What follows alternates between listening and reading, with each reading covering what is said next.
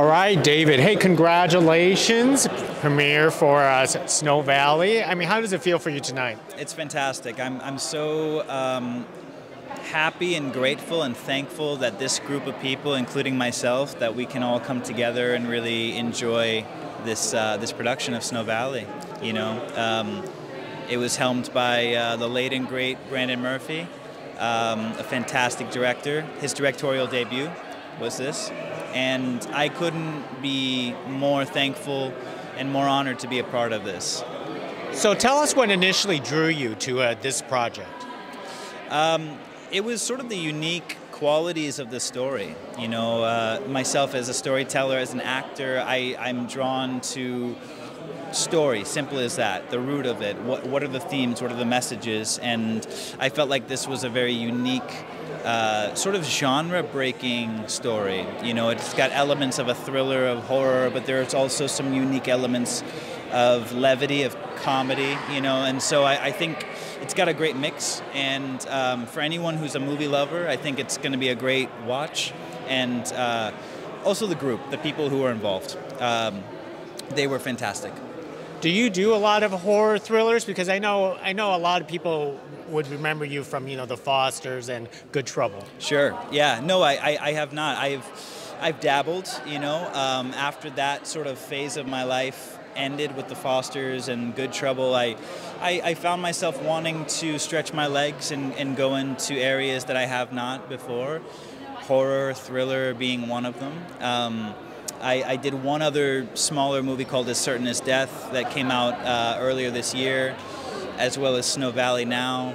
So I'm, I'm, I'm happy that both of these can come out, and I'm excited to see what else I do in the future. So was he was it easy to transition, on, you know, as an actor's mindset into yeah. a different genre for yourself? It, it, it wasn't necessarily easy, but it was so fun. Yeah. It was so fun, and this group uh, made it so much so easy. And our location was fantastic. The story was fantastic. My character is also a departure from brandon foster who i played in the fosters in good trouble. So uh, i got to you know have a different energy which i think helped. And i loved it. I, I would love to do more horror thriller um, type stories. I think they're fantastic. Now did you have any particular scenes with the horror icon barbara crampton I unfortunately did not get to do a scene with Barbara. I, she and I were kind of like ships passing in the night. You yeah. know, like I feel like our schedules never really lined up. I never really, but I, I'm so honored that she's a part of this movie. I mean, it really excites me, and um, the movie buff in me is really excited by that. Uh, so you know, I, I have to be okay with that for now, and then maybe next time I'll do a scene with Barbara. So, what was it like uh, being in that lodge? Because it looks creepy itself. Yeah. Yeah, it was well. It was it was creepy. I mean, set design was fantastic considering what we were up against coming off of, you know, the pandemic in the world. You know, um, so we had to honor that COVID bubble sort of situation, and uh, it was sometimes creepy, but most of the time it was a fantastic, comfortable, beautiful environment. Um, only promoting play and growth and storytelling, which is what I think any good set will promote. You know, so I think we were in a, in a fantastic environment. So how do you love being a part of an indie project versus you know like a you know a big production? Sure.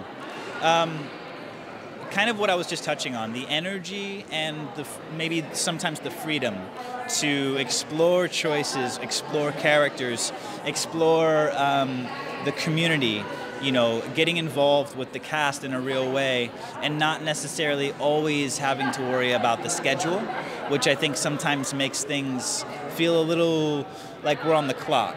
And I think the indie environment provides more of a place for the artist, the storyteller, the actor, whatever you do on set, provides more of a place for you to explore why you love what you love. And so I think there's a place for it all. You know, there, there's nothing wrong with a network television set. Mm-hmm. It's a fantastic machine, fantastic, uh, powerful place to be.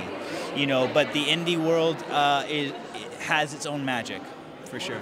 Mo Saxon, one last thing How's your How's your uh, skiing uh, abilities? Yeah, yeah. um, I'm like a green circle, blue square kind of guy. You know, I'll cruise down. I'll cru- cruise down the slopes very carefully. I'll get down to the bottom, and I'll be happy about it. Well, we can't wait to check it out. Thank you for speaking to us about Snow Valley. Thank, you, very much. Thank, you very much. Nice to meet you.